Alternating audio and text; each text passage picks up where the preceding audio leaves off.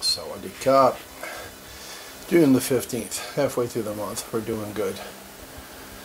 Um, don't ask for your, your, don't ask your employer, googly eyes, uh, why you are not promoted. Ask the person who really knows best yourself. The answer lies within. Dum dum dum dum.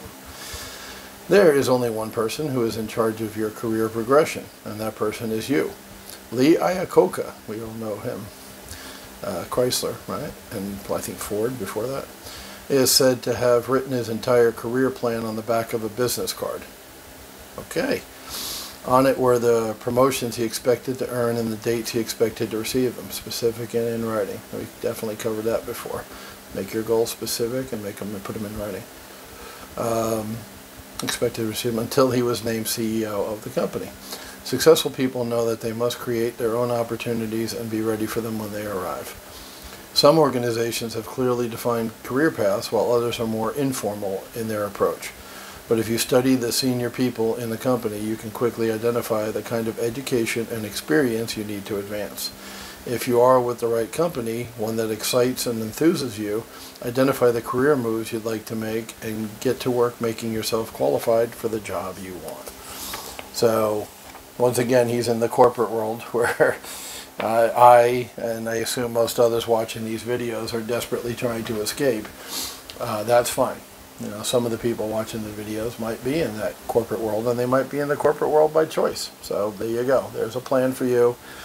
Um, and for entrepreneurs, the, the thing is emulate, right? Emulate means find somebody doing what you want to do. If that's an entrepreneur, real estate investor, whatever. Um, if you're an agent and want to be a broker, then it's your broker. But find somebody doing what you want to do and emulate is a $10 word for copy them. Uh, absorb what they do, watch, study them, see, see, ask them questions how did you learn this? Where'd you learn that? When did you learn that? You know, um, you know, where'd you go to get that information? Uh, you know, what what did your first deal look like? How'd you find it? How'd you fund it? You know, how'd you have the knowledge to do it? Things like that. Like pick their brain, use them to take them to lunch. You know, everybody's down for a free lunch. Tacos, right? Who doesn't like tacos? Take them for a couple slices of pizza, some tacos or barbecue, and just pick their brain. Just ask them lots of questions. And the idea being that when you're done with that meeting, with that lunch or, or breakfast or whatever, coffee, um, you know what you need to know to get started to follow the same path they did. Emulate, that's what it is. Emulation is a very powerful concept. Um, you know it's going to work because it worked for them as long as you have the same tools in place that they had. So that's one of the questions you ask, you know, what, how did you learn how to do that? If your first deal you ever did, how did you find it? How did you know it was a deal, right? So what you're doing is finding out what tools they possessed to be able to do what you want to do. And then you're going to go get those tools, right? You're going to copy the path that they, they chose. And then logically, you'll reach the level of success they did if you copy everything they did, right?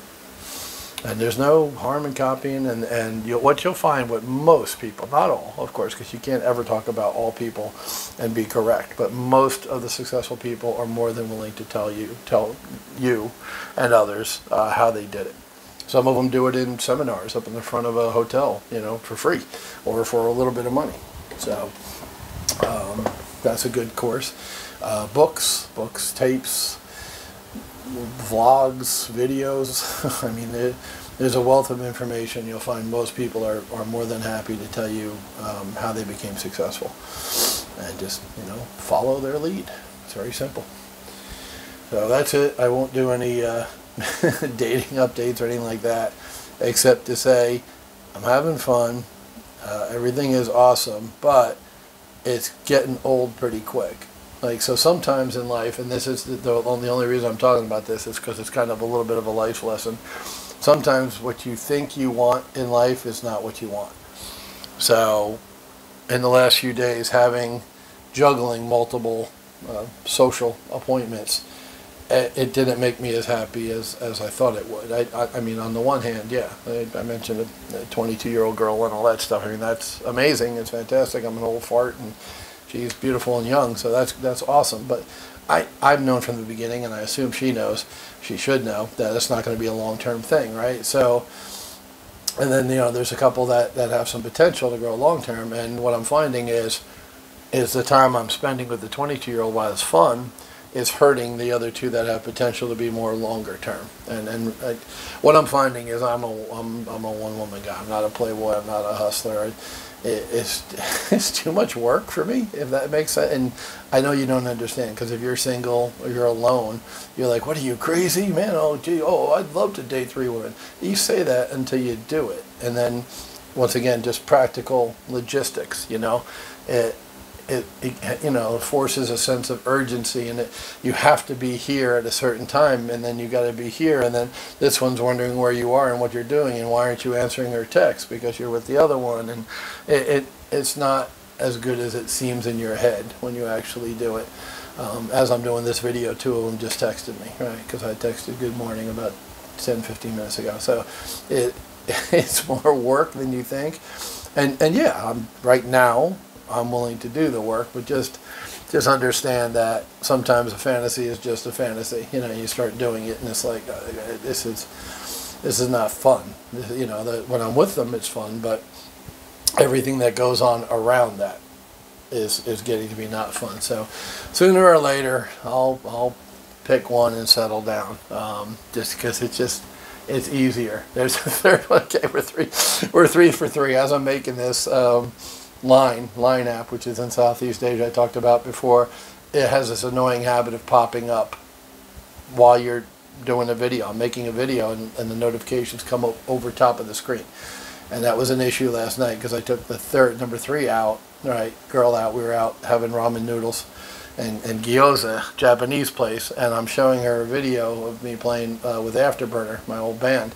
And as she's watching the video, the notifications are coming up from the girl down in Lampang, right, the 38 year old. And they're in Thai, but obviously this girl reads Thai. So she's seeing notifications, you know, how are you? Did you have dinner yet? Blah, blah, blah, from the Lampang girl while I'm on a date with her. Just, like I said, complications. You know, there's that you know, there is that. Just just putting that out there. For the, I'm not going to do a separate video or anything on dating. Just just with my personal situation, um, it, it's getting to be where it's it's work, and and at the end of the day, I'm a one woman guy. I really am. I'm enjoying you know having the experiences and and you know doing different stuff here in Thailand, but that I can't sustain this. I really can't. It's just it's not what I want. It's not what I want. It's it's short-term happiness, but not long-term happiness. So I can I can sprint even with my giant 260 pound, six foot one frame. I can sprint, but I I'm no good at marathons at this point, right? I need I need slow and steady. I need just to find somebody to hold my hand and walk in the park. And oh, isn't that mushy and sad and romantic? Whatever, but it's it's reality for me. You might be different. Your mileage may vary, like everything else I talk about on here. But for me, I just need to find one good quality girl and just settle down. That's that's what makes me happy. And and I'm glad I, I did this little run. And it's not over yet because I have to find the one. But um, you know, I, I have enjoyed dating a number of, of women. It's it's been fun. It's been an experience. I I'm glad I did it. I didn't make a mistake there. But what it's focusing for me, what it's showing me is that you know I'm happier on a, on another path, and that's just the one I'll I'll keep dating uh, casually, hopefully one or maybe two at a time tops, because um, it is hard to juggle, like I said. And then, you know, eventually I'll find somebody that I feel strongly enough towards that I don't want to be with anybody else. That's, I think that's what we're all looking for, really. But that's definitely where I'm at now. Just want to find a really good woman with a warm heart, and um, you know, just being a one-on-one and, and not be in the dating pool anymore. Um, it's kind of like interviewing for a job, you know, every time you date on a first date, like, you know, just like selling yourself. And I, I'm not interested in that anymore, you know what I mean? So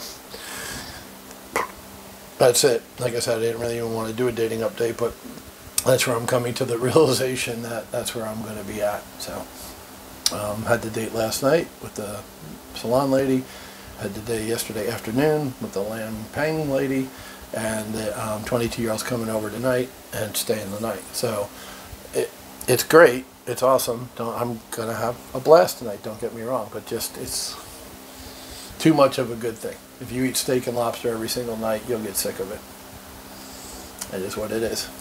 Over and out, kiddies. We'll talk tomorrow.